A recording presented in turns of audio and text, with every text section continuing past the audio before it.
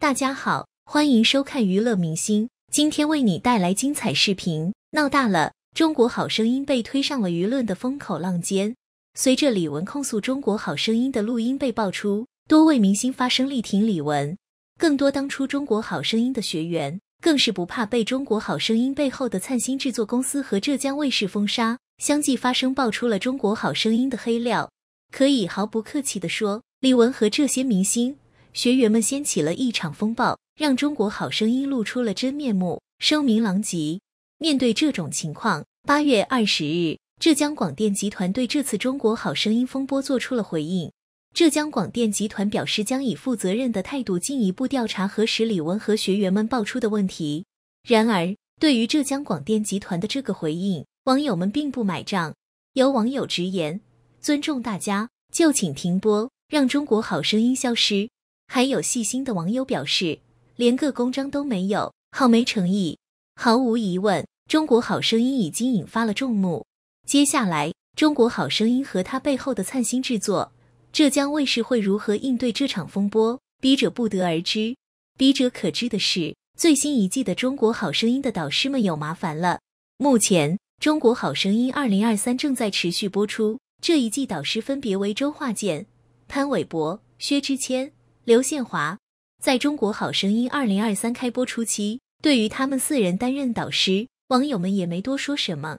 一来是因为大家不知道中国好声音的黑幕会如此之多；二是因为现在的中国好声音早已不如往昔，关注度越来越低。近几年的冠军，很多网友都不知道是谁。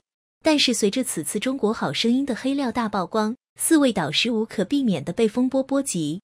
在很多网友看来，四位导师知道中国好声音的龌龊手段，但是因为金钱，他们妥协了。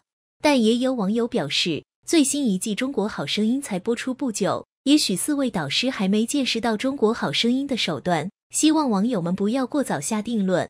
我们暂且不论四位导师是不是与中国好声音妥协了，如今随着中国好声音口碑坍塌，他们估计后悔接了这个节目。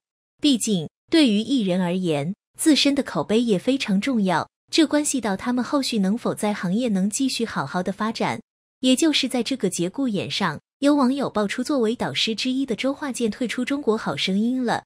对于周华健，网友们太熟悉了，他是四位导师中资历最深、咖位最高的歌手。他演唱的《朋友》《刀剑如梦》《难念的经》等歌曲深受歌迷的喜爱。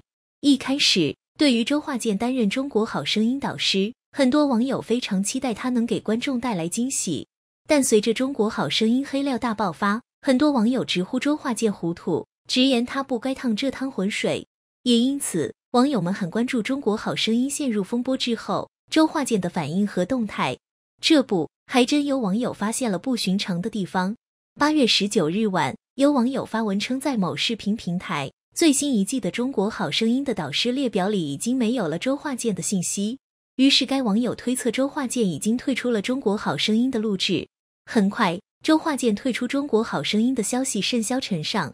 对于此，很多网友在得知这个消息后，为周华健感到高兴，觉得他此刻及时止损很明智。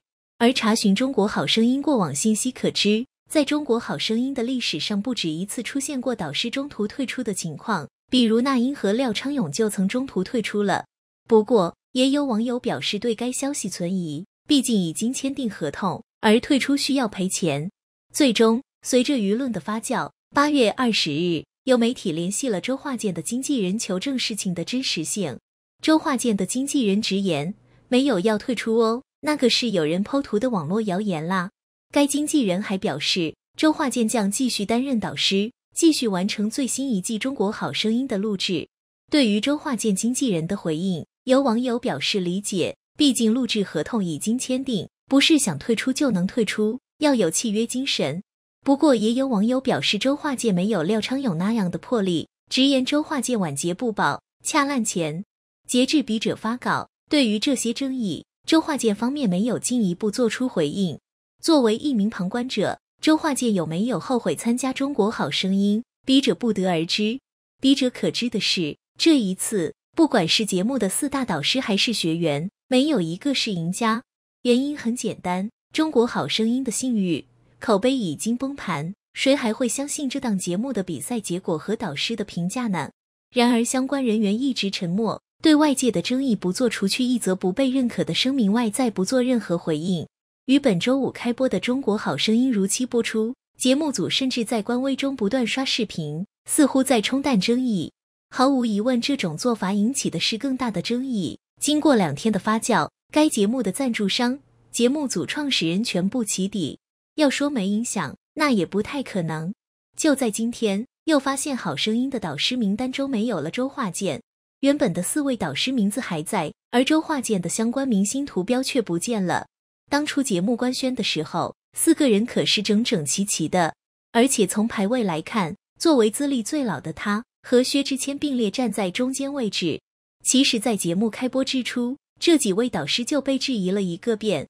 作为有资历、有实力的周华健来参与这档节目，网友们从一开始就持怀疑态度，想不明白他为何要来趟浑水，甚至喜爱他的一些歌迷也害怕他会晚节不保。而在节目开播后，网友们发现周华健这位老大哥其实并不是节目组的主推对象。虽说他实力过硬，但是在人气上，他输给了薛之谦。节目组不止一次的以薛之谦为噱头作为主宣传，所以这次假如周华健真的退出的话，那也算是众望所归。因为李玟视频中已经说过，导师在签下合约之初是不完全知道规则的，只有录制过程中才会知道。所以这些年有不少导师会中途退赛，李玟当年就是作为廖昌永的替补导师参加的。而事实上，有一些导师参加过一次，明确了这其中的规则之后。基本就不会再参加了。比如刘德华作为见证人参与过一次以后，再次邀请他的时候，他就婉拒了。他曾在鲁豫的采访中说自己好好当个歌手就好了，还没有到导师的那个层面。这也让人悟到了刘德华的人间清醒，用自己的实力不允许来拒绝，似乎再合适不过了。